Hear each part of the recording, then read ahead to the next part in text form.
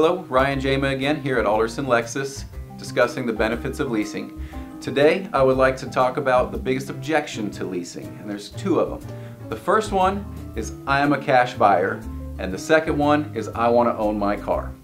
To the first one, great, leasing is definitely for you. To the second objection, I want to own my car, I have to ask, why do you want to own your car? A vehicle is a depreciating asset and there is not a single money manager in the world that would advise someone to put their hard-earned cash into a depreciating asset.